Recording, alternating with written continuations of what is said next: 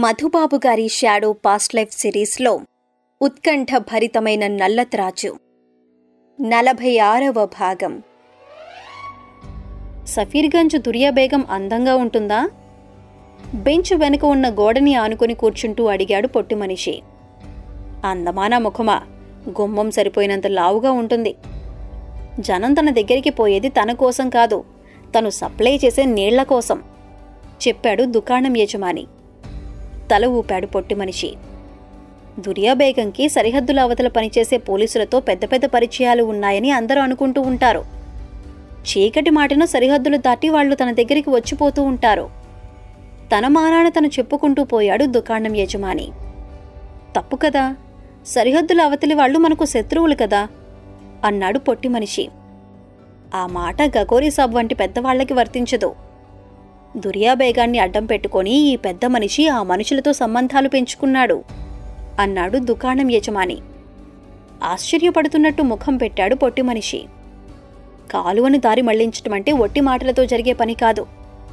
సరిహద్దుల అవతల నుంచి వచ్చిన వాళ్ళు సహాయం చేశారని అందరూ అనుకుంటుంటారు.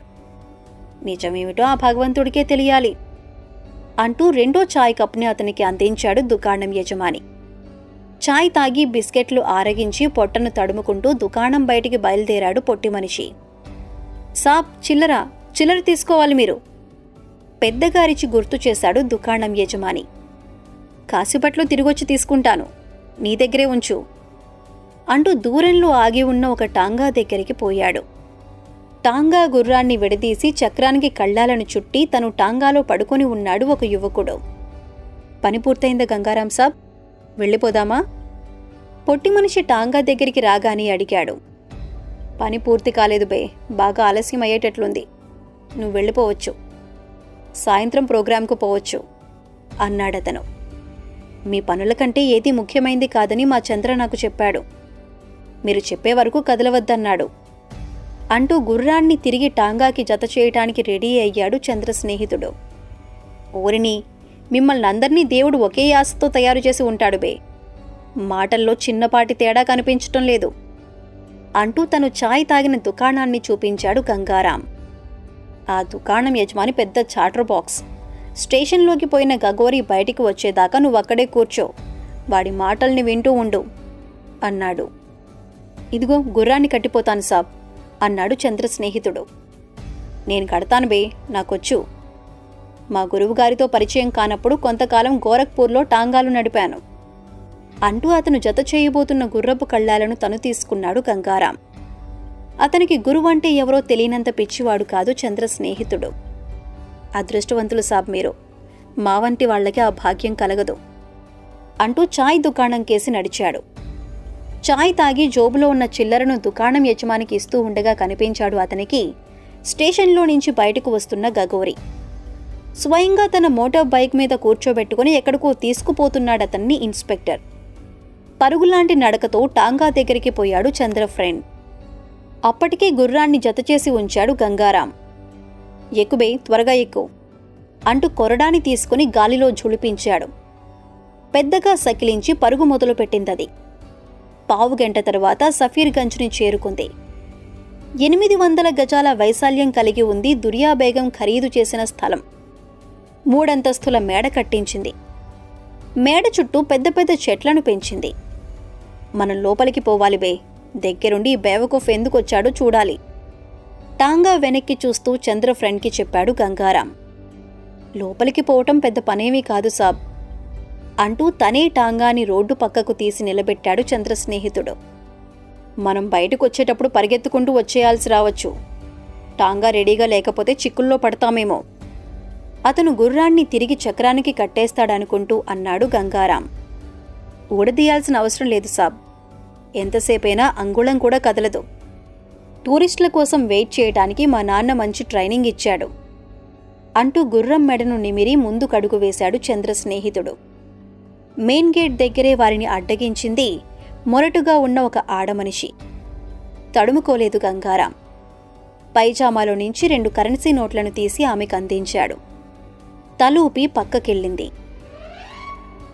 నీ ఫ్రెండ్ ఇంకా రాలేదేమిటి? అక్కడ ఏదైనా గొడవ జరిగి ఉంటుందా? సాయంత్రం నాలుగు గంటల సమయంలో చంద్రను అడిగింది చాందిని. చీకటి పడిన వెంటనే మొదలు కాబోయే ఆమె ప్రోగ్రాంను చూడటానికి పోటెత్తిపోతున్నారు జనం. పోలీసుల వల్ల ఏమీ కావటం లేదు. దొంగచాటుగా దూరిపోవటానికి రాలేదు ఎవరు. టికెట్లు కొనుక్కొని నిరాబీగా వచ్చారు. ఏమీ తెలియని సామాన్యుడి మాదిరి జనంలో నిలబడిన హోమ్ మినిస్టర్ గారిని గుర్తుపట్టడానికి కూడా అవకాశం లేనంత రష్. చుక్కలు కనిపించే కులకర్ణి గారికి ఆయన్ని స్టేడియం లోపలికి తీసుకుపోయేసరికి. మొట్టమొదటి ద్వారం దగ్గర నిలబడి ఉన్నాడు రామ్ దయాళ్ తమ్ముడు రంగరాజు. కులకర్ణి గారిని గుర్తుపట్టాడతను. అయినా సరే గుర్తుపట్టనట్టు ఒక నిమిషం పాటు ద్వారం దగ్గరే నిలబెట్టి తర్వాత లోపలికి పోనిచ్చాడు. మొట్టమొదటి వరుసలో విశాలంగా సోఫాల మాదిరి ఉన్నాయి. వెరీ వెరీ ఇంపార్టెంట్ పర్సన్స్ కోసం కేటాయించబడిన సీట్లు. రామ్ దయాళ్ చిన్న తమ్ముడు ధనుష్ కోటే ఉన్నాడక్కడ. నోరు తెరిచి ఒక్క మాట కూడా మాట్లాడకుండా కులకర్ణి గారిని మినిస్టర్ గారిని కంఫర్టబుల్గా కూర్చోబెట్టాడు. తల తిప్పి పక్కకు చూసిన కులకర్ణి గారికి కనిపించాడు చంద్ర ఫాదర్. యూనిఫామ్ లేదు. సివిల్ డ్రెస్లోనే ఉన్నాడు. చటుక్కున లేచి నిలబడ్డాడతను. మినిస్టర్ గారికి సెల్యూట్ చేయబోతున్నాడని తెలిసి ఉరిమి చూశారు కులకర్ణి. తెలివి తక్కువ వాడు కాదు చంద్ర ఫాదర్. వెంటనే తను చేయబోతున్న పనిని వదిలేసి పక్కనే కూర్చుని ఉన్న తన భార్యను కులకర్ణి గారి వైపు జరిపి తాను అవతల కూర్చున్నాడు. ఆ పక్కనే ఉన్న సోఫాలో చంద్ర స్నేహితుడి ఫాదర్ మదర్ ఉన్నట్టు గమనించి తనలో తను నవ్వుకున్నారు కులకర్ణి. కార్లు నడిపే కుర్రాడు కనిపించటం లేదు. ఏమైపోయి ఉంటాడు? ఉన్నట్లుండి ఆయన్ని అడిగారు మినిస్టర్ గారు. ఇక్కడే ఎక్కడో ఉండి ఉంటాడు. స్టీరింగ్ ముందు కూర్చోమంటే గంటలకు గంటలు కూర్చోగలడు. వెహికల్ని వదిలి నేల మీద అడుగు పెడితే ఎటుపోతాడో ఎక్కడికి పోతాడో చెప్పటం కష్టం. ఒట్టి కుదురు తక్కువ మనిషి.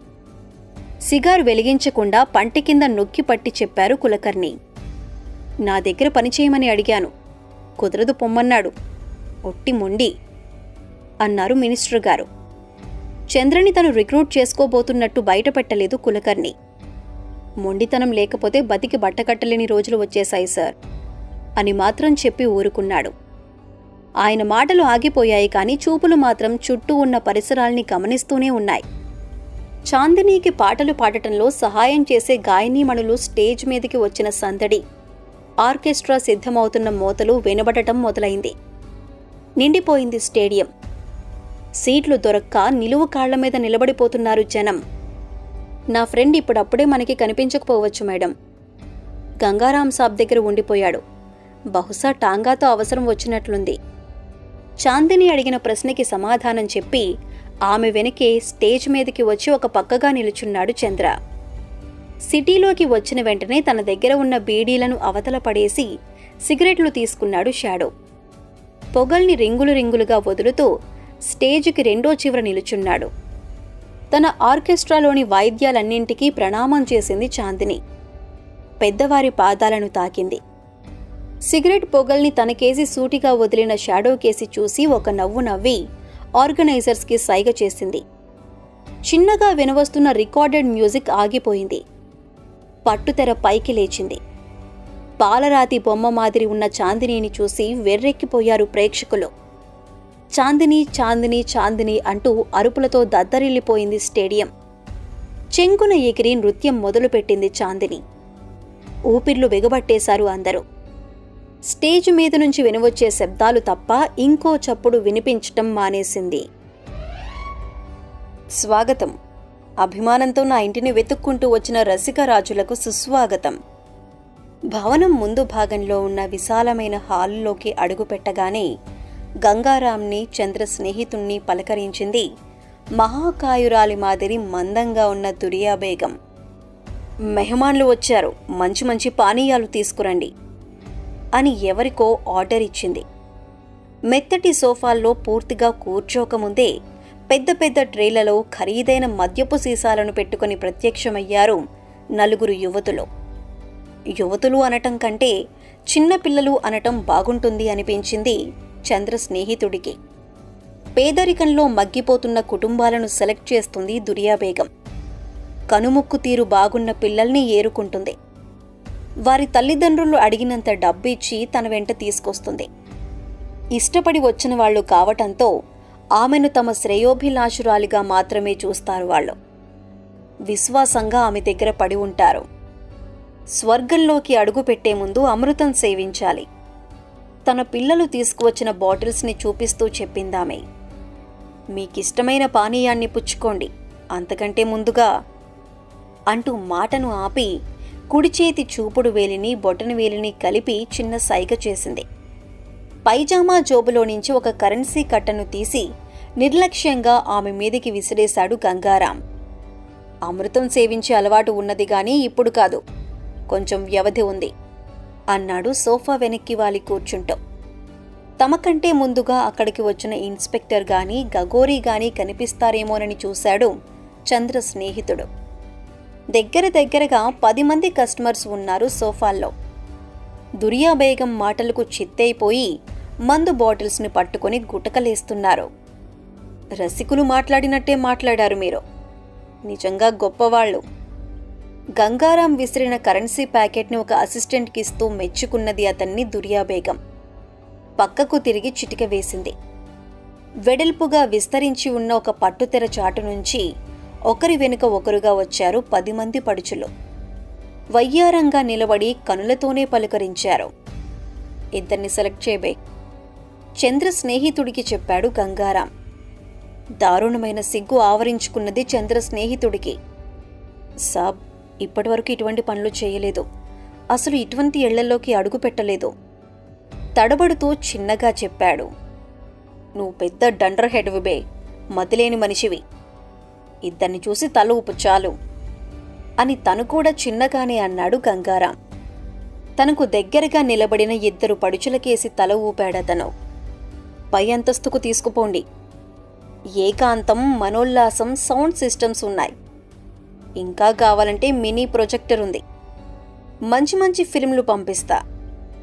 గంగారాం విసిరేసిన కరెన్సీ ప్యాకెట్ని బట్టి అతని అంతస్తును క్యాలిక్యులేట్ చేస్తూ తన దగ్గర లభించే కంఫర్ట్స్ గురించి కూడా చెప్పింది దురియాబేగం. చొరవగా చంద్ర స్నేహితుడి చెయ్యి పట్టుకుంది ఒక పడుచు. గంగారాం నడుము చుట్టూ చెయ్యి చుట్టబోయింది రెండో పడుచు. మన ఒంటి మీద పరాయి చేయి పడకూడదమ్మడు. మనమే వెయ్యాలి చెయ్యి. అది మా పద్ధతి. అంటూ సోఫాలో నుంచి లేచి ఆమె వెనుక నడిచాడు గంగారాం.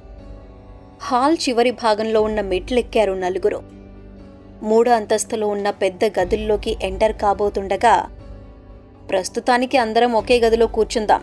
మీకేమైనా అభ్యంతరమా?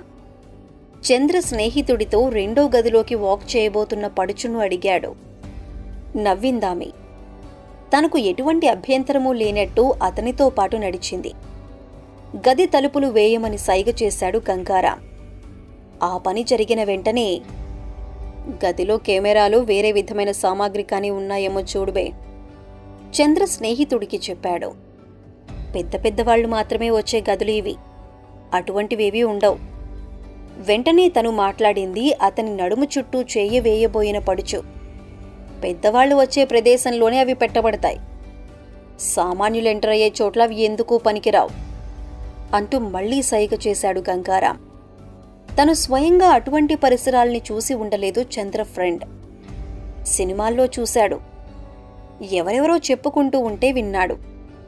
ఆ విషయాన్నే గంగారాం సాబ్కి చెప్పటం మంచిదని అనుకుంటుండగా పైజామా జోబుల్లో నుంచి చిన్న పెన్ టార్చ్ వంటి పరికరాన్ని అతని మీద విసిరేశాడు గంగారాం.